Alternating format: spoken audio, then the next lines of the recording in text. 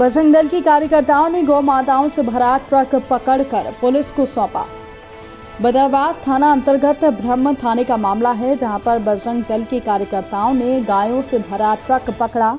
Badarwas police को सूचना दी, जिस पर बदरवास पुलिस ट्रक सहित गायों को बदरवास थाना लेकर पहुँची, जबकि कोई आरोपी पकड़ा नहीं हुआ है। रात के 11 बजे की कार्रवाई है।